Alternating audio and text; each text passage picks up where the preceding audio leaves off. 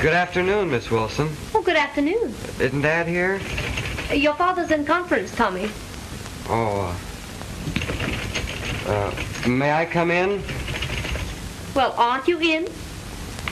Oh, yes.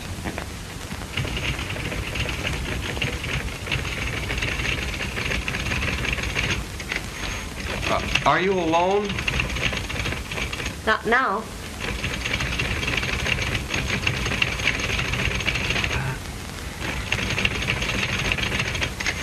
I'd like to... What's on your mind today, Tommy? Well, there's an important question I want to ask you, Miss Wilson. It's a question of vital importance, which you alone can answer. Why, Tommy, what can it be? Well, uh, do you think... No. Would it be possible... Oh, may I call you Grace, Miss Wilson? Why, certainly, if you like. Oh, thank you, Grace.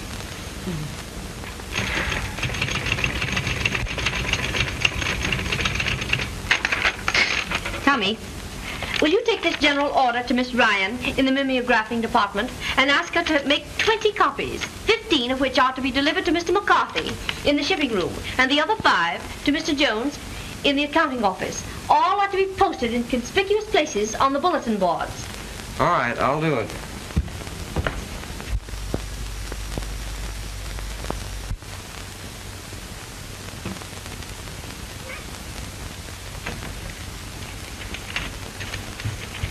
Miss Wilson, Yes? take a letter.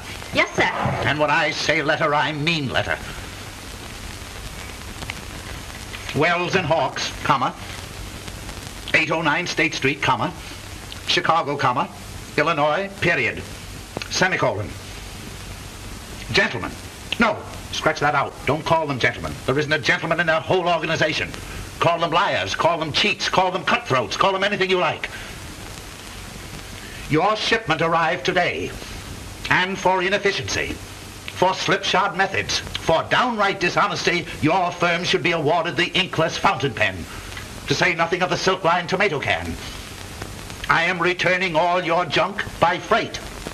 Yours without respect. Get that right out, let me see it, and type it in red ink. Yes, sir.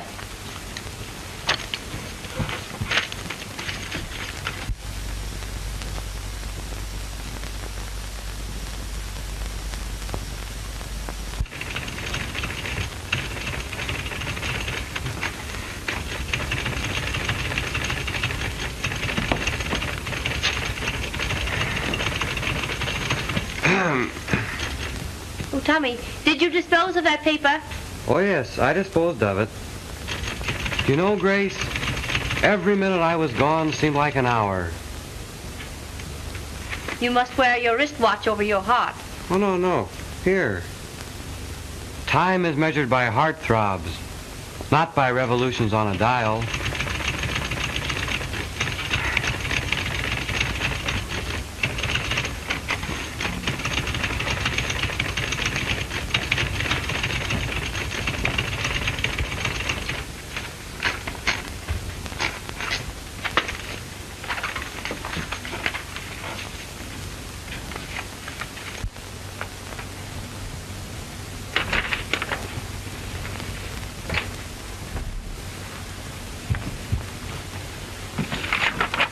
My letter, Miss Wilson. Hmm, I tell you, when they read this, they'll know who they're dealing with.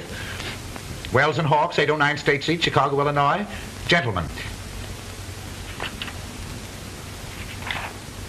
Your shipment received, but owing to breakage is not satisfactory. Am returning invoice of goods received. Would suggest in the future that more care in packing would ensure less loss en route. Yours, very truly. Is this what I dictated? Well, practically. Well, perhaps you're right. Oh, uh, your son is here. He's here? Yes. He's home. Well, well, well.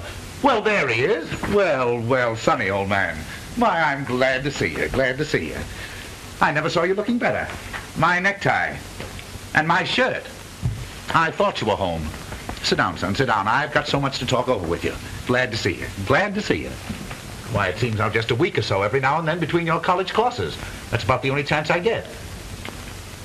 Well, son, well, what's on your mind? Oh, Dad, Yes. uh, I wanted to ask if... No. I'll tell you right now, no. You cannot have that car tonight. For the past three nights, there hasn't been a drop of No, gasoline no, it. that isn't it, Dad. Uh, do you think a fellow should get married young? I have never heard anything like that in my life. Married young? Why, certainly not. My dear boy, every man, before he thinks of getting married, should wait. Wait until he cuts his wisdom tooth. Every man should wait and think it over very, very carefully. But, Dad, you and Mother were only 21. An entirely different affair. Your mother was a very wonderful woman. They don't make them like her anymore. My, it's been six years now, son, since she left us. It's been very, very lonesome. Don't you answer me back like that. What put this idea of marriage in your head? Well, I've been thinking about... Well, stop thinking about it. That's the whole trouble with marriage nowadays. Too much thought. Do, Well, you just said don't that- tell me what I said. I know what I said. I'm doing the talking. Besides, you've got to finish your college course first. Oh, but Dad, I've met the most wonderful woman. Why, in the three weeks I've known her, I've discovered a new world. Three weeks. That's what you're studying up there in that school? Oh, I'm speaking seriously. I see you are, son. I see you are. Well, who is she? Miss Wilson, Wilson. Very familiar name, Wilson. That's a good name, son. A good, strong name, full of character. You don't mean my secretary. yes, sir. She's the quintessence of beauty. She, uh, she's the what? Don't you talk like that about anybody. The quint, quint, quint, of beauty. Oh, of beauty. Yeah, Oh, Miss Wilson is. Yes, she's a, a very, very pretty girl.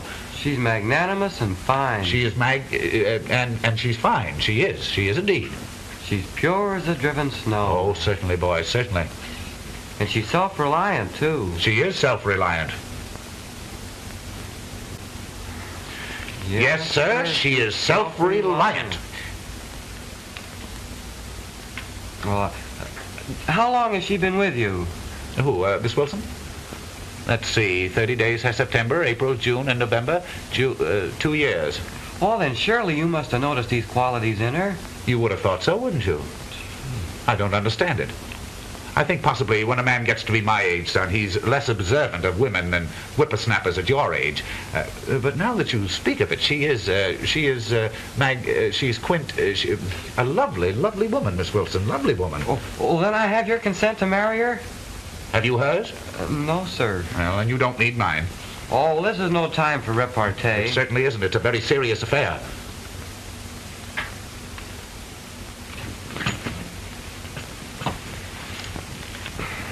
You're altogether too young to be married, son. Besides, I want you to finish college, then I want you to take a trip. Take a long trip, as long as you like. Go to China. I don't care when you come home. Stay as long as you like and see everything before you come back and settle down in an office for the rest of your life. And besides, Miss Wilson is altogether too old for you. Don't answer me like that. She is so. Now, don't worry, son. Everything will be all right. Now, I'll, uh, I'll give you a nice check in the morning for $5.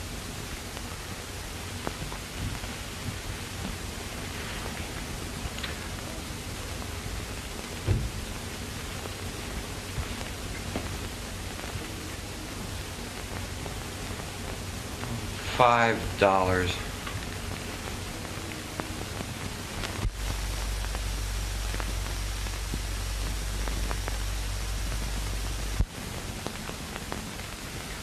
Why so sad, Tommy? The shades of night have fallen over my soul. All is dark in here. Will you let me speak to you like a friend? Friend, hollow word. I who love you. Let's be sensible, Tommy. You're 19 and I am... Wonderful. That's a very pretty speech, but I'm much older than that. And besides, Tommy, you have your college course to finish. Well, what's college compared to love and romance? I may be young, Grace, but I've seen life. I sing with a poet. One moment let my lifeblood stream. Uh, uh, oh yeah, from boyhood's fount of flame. Give me one giddy, reeling dream of life all love and fame. Well, giddy dreams end in nightmares. Oh, you're disconcertingly practical at times.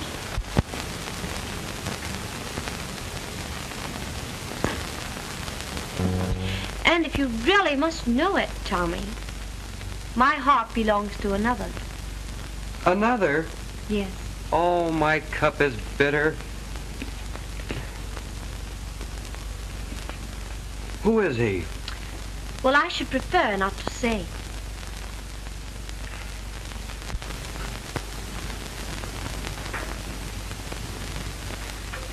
Well, I hope he's worthy of you. I hope I am worthy of him. Uh, what, what's he look like? Have you got a picture of him? Yes, I have a picture of him right here in my desk.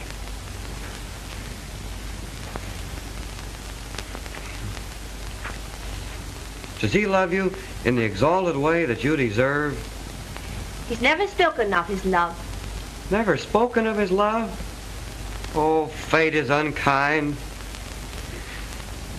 Gee, I had hoped that the cruelties of life would pass you by.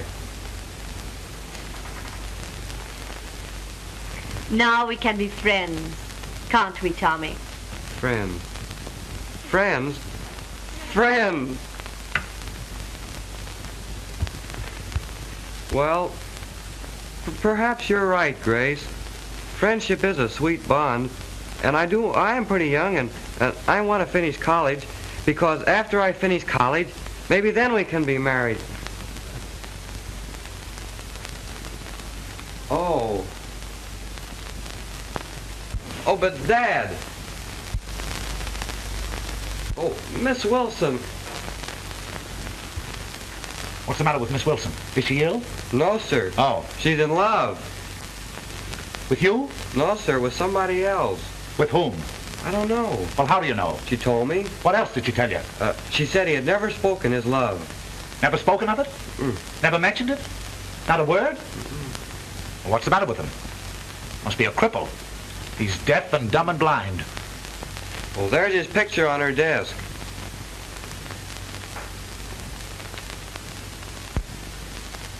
That one? Mm-hmm.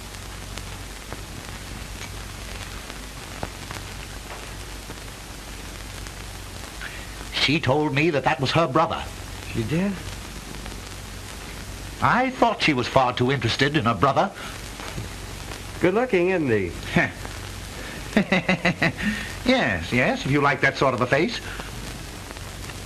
A receding chin, I knew it. See that chin? See? See how it goes back? That's a squint in the eye right there. That's a distinct squint, see? In both of them. Looks Russian to me. Dad, about how old a man do you think he is? Oh, he's a man about 25, 30, 35, 40, 45, 50. I don't know, I don't know. I no judge of men's ages. Well, Dad, oh, blonde, wavy hair. See? Blonde, wavy hair. Well, do you think that blondes are more attractive to women than brunettes? I wonder. Uh, They are not. Don't you ever get an idea like that in your head. Your mother told me that if I hadn't been a brunette, she... Uh, well, I don't know. I don't know. Dad, listen. Do you think that women I like- don't think anything about women. I don't know anything about them. Nobody knows anything about them, and I know less than anybody else. Will you get out of here? You've ruined my day completely. Uh, ask Miss Wilson to come right in here. Right in here. Miss Wilson, right in here.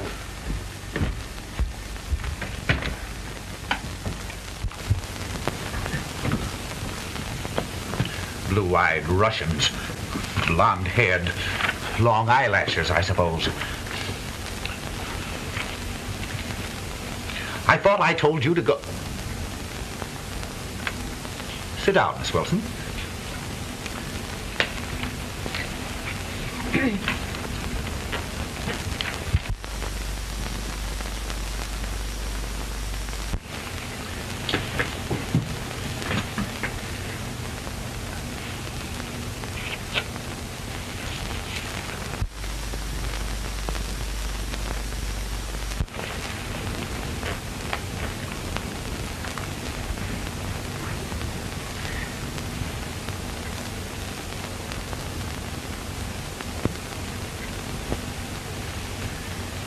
Uh, Miss Wilson? take a letter. Brown and Jones, Akron, Ohio. Sirs, kindly send three of your metal filing cabinets, number 692, at the price quoted in your letter of November 13th. Uh, Miss Wilson, are you fond of home life? Why, yes, sir. That's nice. The uh, check for these filing cabinets will be forwarded upon delivery. Uh, Miss Wilson, are you fond of children? Surely. Uh, that's nice. Uh, my son was telling me that you, uh, this is to Skinnem and Skinnem, attorneys, Washington, D.C. I'm enclosing herewith for collection a bill against a firm in your city. Uh, Miss Wilson, Yes. uh, do you sew? Oh, yes, I'm very fond of fancy work. That's nice. The itemized statement and the uh, memoranda are enclosed herewith. The Cold Water Drunkenness Cure, Volstead, Kansas. Kind sirs, please stop sending me letters in regard to your cold water liquor cure. The constant receipt of these letters with your name emblazoned, uh, that's a Z in emblazoned, on the envelope caused every one of my employees to believe that I am a confirmed drunkard. Uh, Miss Wilson, you don't think that I'm a boozer, do you? Oh, on the contrary, I've always admired you. That's nice. Your temperance. Uh, that's nice. This is a straight telegram. Freshwater College, Missouri. Kindly reserve room in dormitory for the return of my son Thomas. Uh, Miss Wilson, Yes? you do think that he should return to college, don't you? I certainly do. The quicker, the better. That's nice. Um, Miss Wilson, uh, my son was telling me that you uh, have an admirer. Well, that's hardly accurate. I told him that I admired someone greatly. Well, I'll be. I, I mean to say, I thought that he. uh, what I wanted to say was that I But- really I don't see how anyone could fail, could help but admire. But just recently, it has seemed that uh, perhaps he does care for me. Just a little. He does. Yes. He does. He does. That's nice. Uh, Miss Wilson, uh, what I was leading up to was. Yes. Why, it's five o'clock. Is, uh, is that all? Well, uh, practically. Uh, good night, Miss Wilson.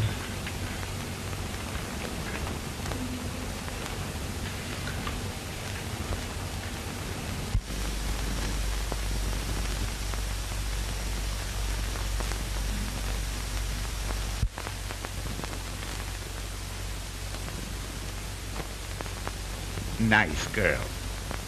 Oh, nice girl.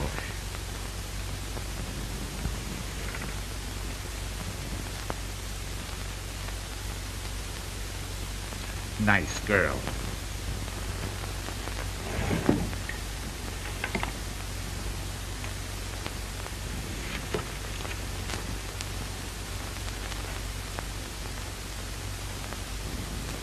Nice girl. Miss Wilson. Miss Wilson? Uh, Miss Wilson. Yes. Uh, Miss Wilson. Uh, uh, what is it? Yes. Uh, sit down. Sit down, Miss Wilson. Sit right down. Yes. Uh, take a letter uh, uh, on the machine. Oh,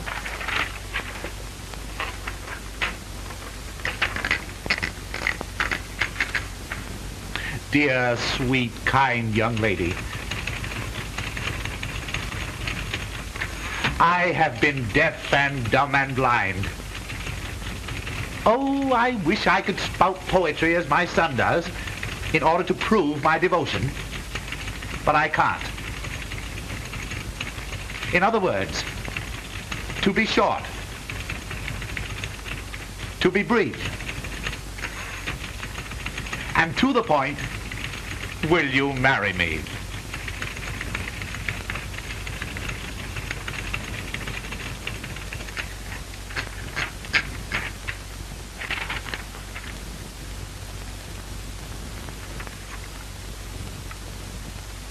Yes, that's the letter.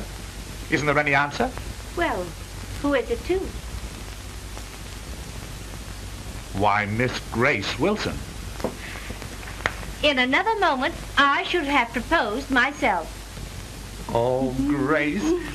Who is he? Who is he? Right there. Who is he? Well, that's my brother. I've often spoken of him. Of course you have. I told him it was your brother. I told him all the time. I... But he told me that you told him that you had a picture of the man you loved on your desk. Oh, I said in my desk. I told him it was in the desk. I told him. I told son, son, son, come in, come in. Miss What's Wilson. happened? Miss Wilson has an announcement to make. Oh, what is it? I'm going to be married. You are? I am. To me? Oh, no. To whom? Ask Dad. He knows.